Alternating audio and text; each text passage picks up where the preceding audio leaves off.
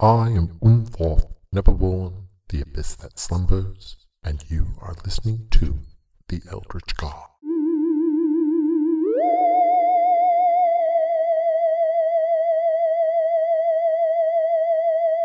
I received a challenge from Naked Ape, and at first I was going to dismiss it because why would I stoop to joining a mortal organization? But then I heard this rousing speech. Hello? Good. the first one is why are you so mean? We grow in number each time I visit. Thank you, my friends, for your courage and dedication to our cause.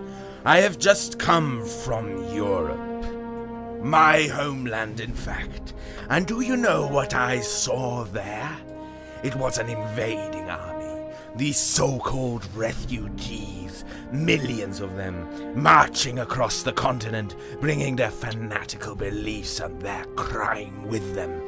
They attack our women and bomb our cities. And how do our leaders respond?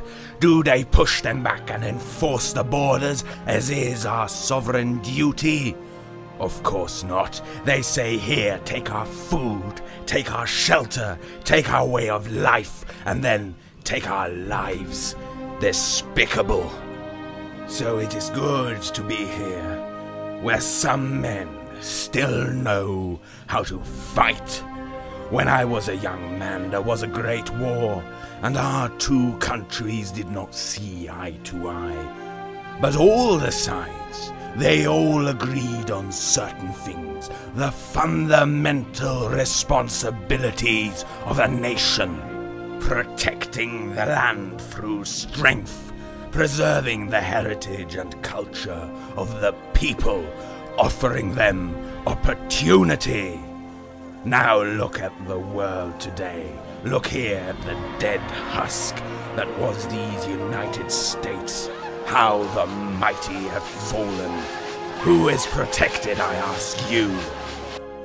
On my flight, I was briefed about these brave patriots fighting the government's illegal claims to their land.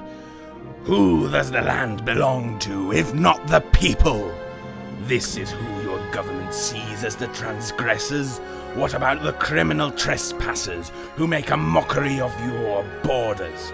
No, they are protected, of course. But that is only the beginning. Your entire culture is under siege. The principles your country was founded upon lost in the name of tolerance. Your religion, your beliefs, your sense of community, all tossed aside like trash. And you cannot even speak out against it, lest you be called a bigot.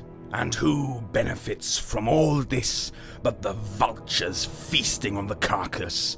The bankers who stole your homes out from under you, and the politicians they purchased. Well, let them call you what they will. I know who you truly are. The beginnings of a revolution the first to see the collapse of the old guard, and the road to something glorious. The glory of Hydra. After listening to that, how could I not? Hail, Hydra!